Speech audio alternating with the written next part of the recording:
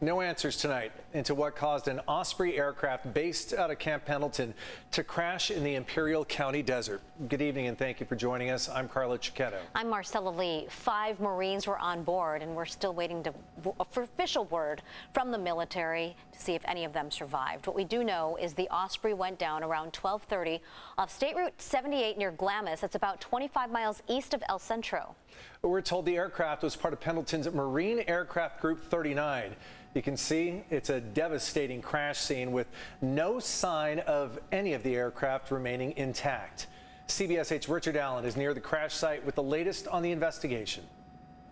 Well, that's right. Military police are still on scene. We've also seen first responders, both military and civilian, as they work to account for the five people on board and as the military prepares for an intensive investigation into what brought this aircraft down.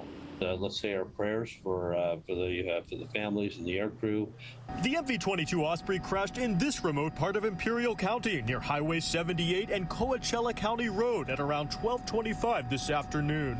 Military officials confirmed that the craft belonged to the 3rd Marine Aircraft Wing out of Camp Pendleton. Five people were on board during this training mission.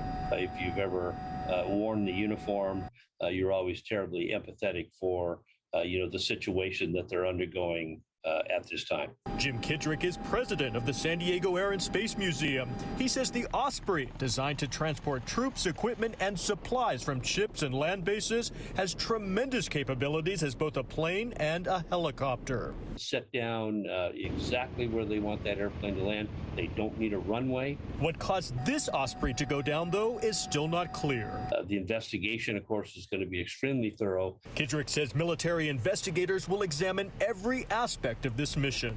Uh, the training qualifications of all of the crew members, you know, the, the brief, the flight itself. He also says the primary focus now is on each of the crew members who were on board, as well as their families. The most important assets we have are ourselves, are the people that we work with every day. And we always do an investigation with an eye towards how do we prevent this from happening again.